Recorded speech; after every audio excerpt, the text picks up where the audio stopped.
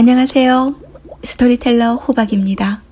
오늘은요, 윤기정 선생의 근대 단편 소설 아씨와 안잠이 준비했습니다. 안잠이란 말을 들어보셨나요? 저는 이 소설에서 처음 알게 되었답니다. 안잠이란 안잠자기 또는 안잠, 안잠제기라고도 하는데 사전을 찾아보았더니요. 남의 집에서 먹고 자며 그 집의 일을 도와주는 여자를 말한다고 합니다. 식모라는 한자말에 대한 순수한 우리말인 것 같습니다. 그러니까 아씨와 안잠이라는 이 소설은 한 집에 살고 있는 두 여인의 이야기를 하는 것이겠지요. 두 여인에겐 어떤 사연이 있을까요? 윤기정, 아씨와 안잠이 들어보시죠. 구독, 좋아요, 알림 설정 지금 하시면 돼요. 지금.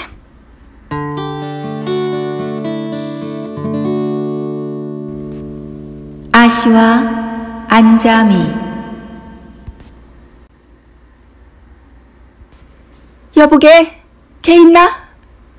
새수물 좀 떠오게.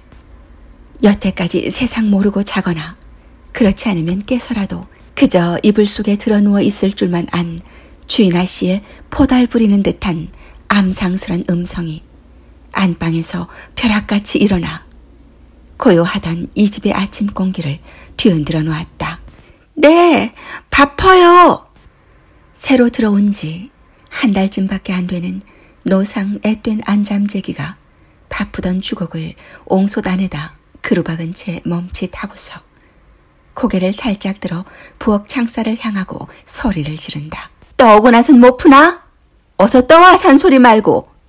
먼저보다도 더 한층 독살이 난 째지는 듯한 목소리였다. 어지간히 약이 오른 모양이다. 네, 곧 떠들여가요. 젊은 안잠재기는 이렇게 대답하고 나서 바로 옹손 옆에 걸린 그리 크지 않은 가마솥 뚜껑을 밀쳐 연 다음 김이 무럭무럭 나는 더운 물을 한 바가지 듬뿍 떠가지고 부엌 문턱을 넘어설 때 슬며시 골이나. 치, 해가 일구 삼장에 똥구멍을 찌를 때까지 잘 적은 언제고? 이렇게 물이 못 나게 재촉할 적은 언제고? 하고 혼자 입안으로 가만히 중얼거렸다. 얼굴이 비치도록 길이 번들번들 들은 뒤주와 찬장 사이 틈에 끼워둔 노떼야를 집어가지고 급하게 재촉하는 품부와서는 바가지의 물을 그대로 불까 하다가 혹시 먼지라도 뜰라치면 가뜩이나 심사가 뒤집힌 판이라 더욱 펄펄 뛰며 쨍쨍거릴까봐 얼추라도 한번 부시려고 마루 끝으로 나오니 마루 반을 넘어 들이비친 가을볕으론 유난히 쨍쨍하고 두꺼운 광선이 잘 닦아 번쩍거리는 대야에 가 반사되어 으리으리하게 번쩍거린다. 뭘 그렇게 꿈치럭거려? 군뱅이 천장하듯. 어서 들여오지 않고 안방에서는 여전히 톡 쏘는 듯한 아씨의 날카로운 음성이 또 화살처럼 안잠재기의 귀를 따갑게 들이쏜다. 네, 지금 곧 들여가요. 안잠재기도 약간 짜증이 난 듯한 말씨였다. 허나 남한테 맨 목숨이라 꿀꺽 참고서 안방 미닫이를 조심성스럽게 연 다음 간반통 이 칸이나 되는 덩그런 방 한가운데다가 물대야를 갖다 놓고 나니 아랫목 쪽으로 혼자 오독하니 앉아있는 30이 될락말락한 어느 모에 내놓든지 미인이라고 할 만한 제법 요염하게 생긴 주인 아씨가 뼈로 통한 얼굴을 해가지고 살기가 등등한 눈초리로 안잠재기를 갈아 마실 듯이 노려보면서 자네 꺼정 내 속을 태나? 왜 그리 꿈주럭거려? 에이 화나 죽겠네. 죽겠어. 자네마저 내 맘을 편치 않게 해주려거든. 오늘이라도 썩 나가게. 썩 나가. 하고 대야를 와락 잡아당기다가 물이 좀 방바닥에 엎질러졌다. 공연히 생트집을 해가지고 사람을 들볶는 것이 몹시 베리가 꼴려 견디다 견디다 못해 여볕 입에서 뭐라고 말대답이 터져 나올 듯한 것을 삽시간에 생각을 돌려 꿀꺽 참았다. 요때만 지나 성깔이 꺼질라 치면 그야말로 정답게 살을 비어매길 듯하고 싹싹하기 봉산 참배 같은 아씨의 성미를 들어온 지 얼마 안된 터이지만 잘 아는지라 가슴에서 금방 불덩이가 치밀어 오르는 것을 꿀꺽꿀꺽 참고서 윗목 한 구석에 틀어박힌 걸레를 얼핏 집어다가 방바닥에 튄 물방울을 그저 잠잠히 훔치고만 있었다. 아무 죄 없이 뿌옇게 몰려든 안잠재기가 아까 푸다가 내버려둔 밥을 마저 푸려고 부엌을 향하여 발을 옮기면서 하루 이틀 밤도 아니고 사흘 저녁씩이나 나가잤으니 그것도 딴 계집에 미쳐 다니는 줄 번연히 아는 아씨로서 고를 내는 것은 그럴 법도 한 노릇이지만 친원편 안 들어온 화풀이를 나한테 하는 것은 여간 거북한 일이 아니며 살이 내리도록 성가신 노릇인걸 하고 생각한 다음 상을 약간 찌푸렸다. 부엌으로 들어간 그는 밥을 다시 보면서 자기 신세를 생각하고 주인 아씨를 동정도 하였다가 주인 나리를 까닭없이 미워도 했다가 또는 이 세상의 마음이 군성거려지더니만 나중에는 걷잡을 수도 없고 부지할 수도 없이 머릿속이 산란해진다. 처음에 미쳐서 들들 볶다 못해 마침내 몹시 때리기까지 해.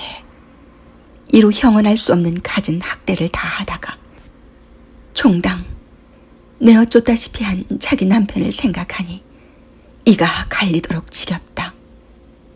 밉살머리스럽고 원망스러운 놈이 어디서 되졌다는 소문만 들어도 당장 미친년처럼 내 활개를 쩍 벌리고 가로 뛰고 세로 뛰면서 손뼉을 치고 춤을 출성 싶은 충동을 가끔 느끼며 내려왔다.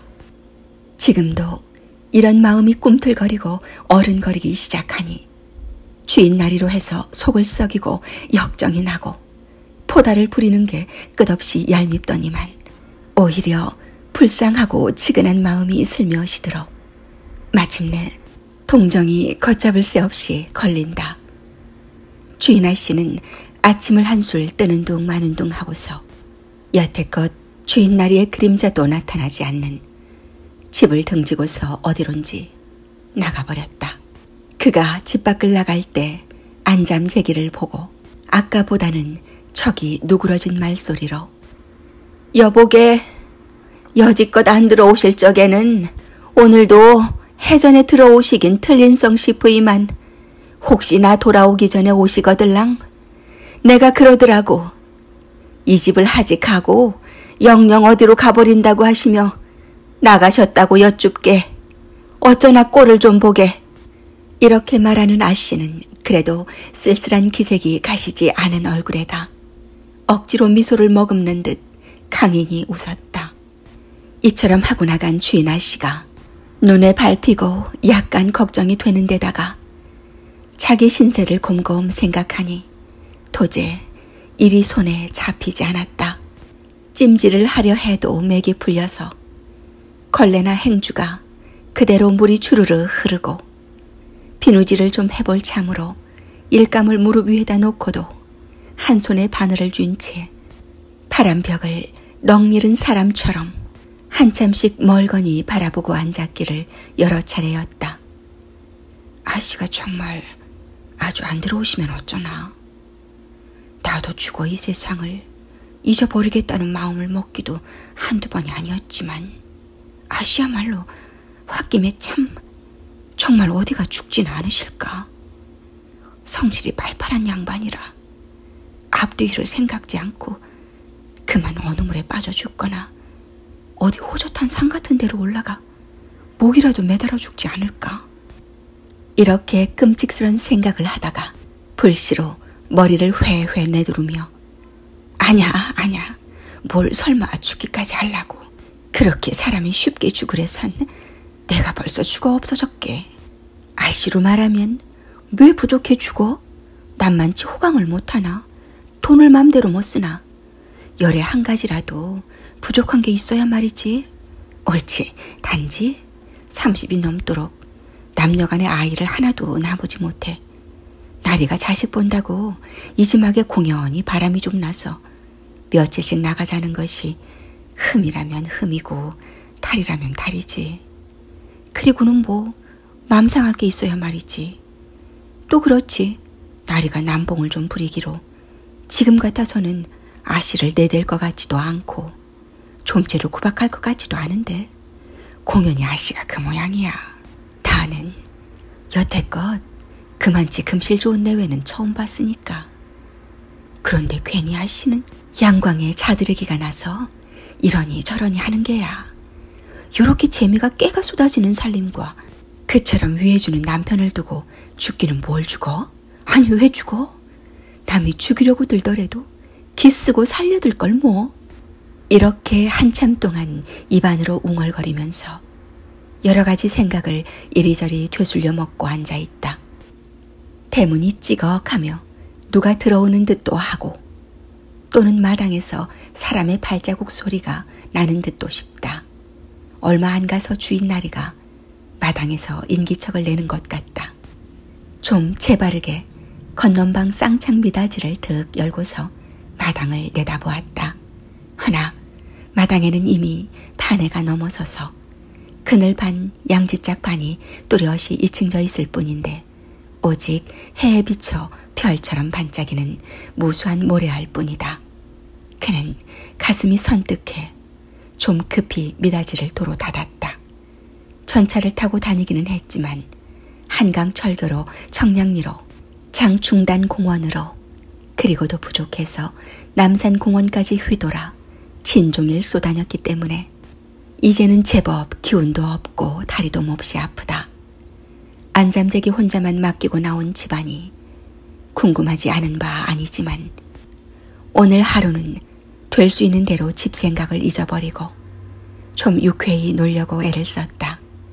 해가 뉘엿뉘엿해 방금 서산을 넘으려는 이때까지 아침도 변변히 먹지 못한 사람이 물한 모금 안 마시고 돌아다녔기 때문에 아무리 화에 들뜬 사람이기로 허터증과 기진맥진까지는 모르지만 어지간히 지친 모양을 자기 자신으로도 넉넉히 깨달을 수 있었다.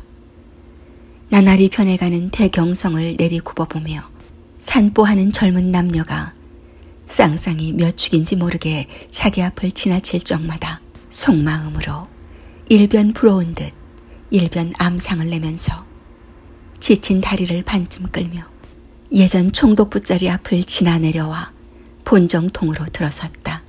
다리도 아프거니와 시장기가 치밀어 올라 견딜 수 없어서 그 전에 남편과 자주 다니던 정유사 식당 안으로 아는 집 들어가듯 조금도 서슴지 않고 쑥 들어서니 저녁 때가 돼 그런지 좀채로 빈자리가 눈에 띄지 않는다. 그래 잠깐 멈칫하고 선 채 두 눈만 이리저리 굴리고 있으려니까 안내하는 사람이 가까이 오더니만 한 구석으로 인도를 한다. 그는 인도자의 뒤를 따라 꼭 한 자리 남아있는 곳에 가 털썩 주저앉고 말았다. 하얀 에이프런을 두른 시중드는 소녀 하나가 앞에 와 서서 뭘 잡수시렵니까? 하고 공손히 묻는다. 정식. 양식이죠? 이번에는 그렇다는 뜻으로 고개만 약간 끄덕였다. 배가 어지간히 고팠던 그는 차례로 갖다 놓는 음식을 순식간에 개눈 감추듯 다 먹어 연에 빈 접시만을 만들어 놓곤 하였다. 그가 다시 길거리로 나올 때는 제법 어둑어둑해져 전등 불빛이 제대로 바로 베게 되었다. 조선은행 앞까지 나와 전차를 잡아타고 불이 나게 집에 당도해 중문 안을 들어서자마자 제일 먼저 눈이 가기는 마루 끝이었다. 앞만 눈여겨 살펴보아도 나리의 구두는커녕 구두 그림자도 없는지라 미리부터 그러려니 짐작했으면서도 두 눈에 쌍심지가 벌컥 올라 째째한 목소리로 아니 그저 안 들어오셨나? 하고 병력같이 고함을 친다. 네, 안 들어오셨어요. 건너방에 있던 안잠재기가 얼떨결에 대답하면서 마루 끝으로 나온다. 여보게, 난 저녁 먹었으니 자네 나와서 먹게. 그리고 혹시 나리가 밤늦게라도 들어오시거든 내가 아침에 나가 안 들어왔다고 여쭙게. 해며 지금 다녀갔다는 말은 하지 말고 아침에 이른 대로 꼭 그렇게 여쭈어. 난 늦게나 그렇지 않으면 내일 들어올 테니 그리 알게. 마루에도 올라오지 않고 마당에 선 채 이 말 한마디를 남기고서 그만 대문 밖으로 사라진 다음 안잠재기는 또다시 혼자 남아 멀거니 마루 끝에 선 채 대문편을 바라다 보면서 흥, 집안 꼴잘 된다. 아씨마저 놀아나는 모양인 걸 그래. 속 좋다. 하고 의미 모를 웃음을 한번 싱긋 웃고는 돌아선다.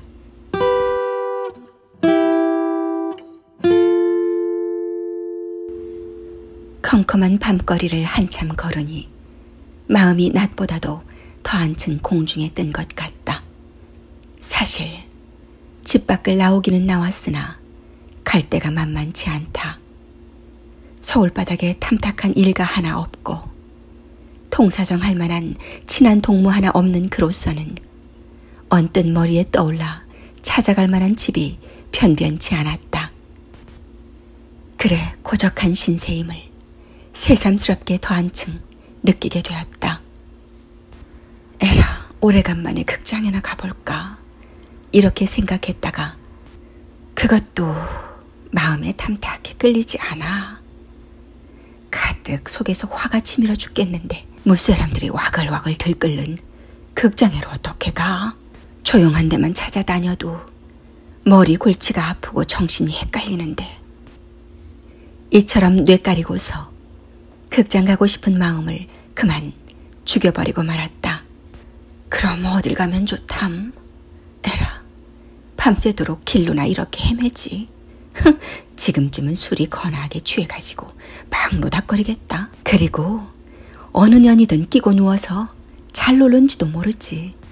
이런 소리를 입 안으로 가벼이 중얼거리면서 눈앞에 자기 남편이 얼굴도 뚜렷이 나타나지 않는 어느 계집과 서로 얼싸안고 뒹구는 꼴을 그려보다가 고개를 내흔들며 그 약오르는 그림자의 모습을 지워버리려고 애를 썼다. 분한 마음, 질투하는 생각에 암상도 나고 약도 오르고 나중에는 남편이 끝없이 밉살머리스럽기도 하다. 오늘 저녁처럼 이렇게 남편을 미워해 본 적은 일찍이 없었다. 그럴수록 마음은 지양할 수 없이 군성거려지며 부지할 수 없게 달뜨기 시작한다. 우중충한 가을의 밤거리를 혼자서 걸을수록 그 도수는 점점 더해갈 뿐이다.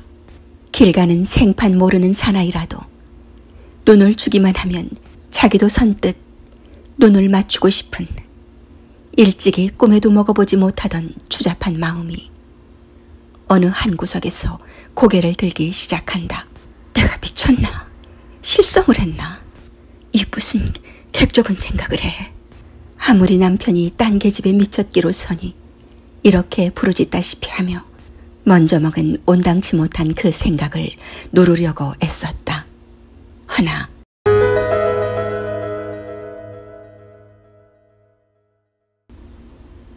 네, 오늘 밤 아시의 이 흔들리는 발걸음, 이 흔들리는 마음은 어디로 향하게 될까요?